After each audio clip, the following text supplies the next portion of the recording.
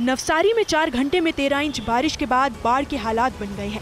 निचले इलाकों में घरों में पाँच फीट तक पानी भरा हुआ है। सड़कें लबालब होने से जनजीवन अस्त व्यस्त हो गया है। स्कूल, मंदिर, घर, हर जगह पानी ही पानी है।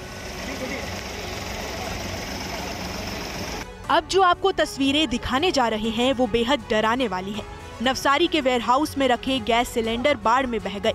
इन सिलेंडर्स की संख्या एक, दो या दस, बीस नहीं थी। कई दर्जन सिलेंडर बहते दिखाई दिए। पहले ये सिलेंडर वेयरहाउस के कैंपस में ही तैरते दिखे। लेकिन जैसे ही बाढ़ का पानी और बढ़ा, ये सिलेंडर वेयरहाउस की बाउंड्री पार कर रिहायशी इलाकों की ओर बहने लगे। बाढ़ से हालात इतने खराब हो गए कि लोग घर बार छोड़कर सुरक्षित स्थानों की ओर भागने लगे। देखिए किस तरह से लोगों के घरों में पानी भरा हुआ है और ये लोग मायूस होकर कुदरत के इस कहर को कोस रहे हैं।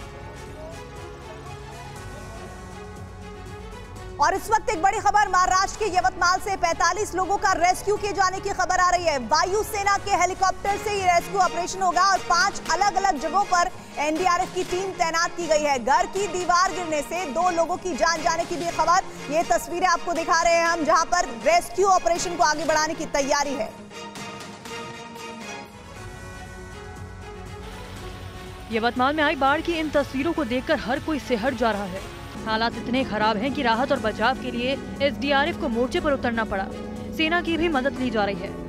देखिए किस तरह से सड़कों का नामो निशान मिट चुका है और उन पर पानी का बहाव इतना तेज है कि बिना किसी सहारे के घर से बाहर भी नहीं निकला जा सकता।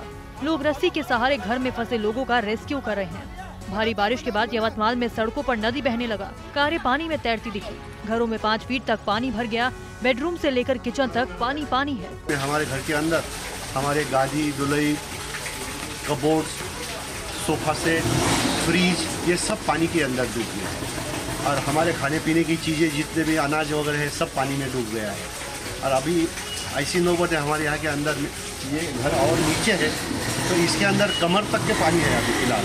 और हमको अभी तो बाहर रहने की अभी कोई इलाज नहीं एक घर की दीवार गिरने से दो लोगों की मौत हो गई है, और अब डरे सहमे लोग भारी बारिश के बीच घर से बाहर निकल कर बैठे हैं।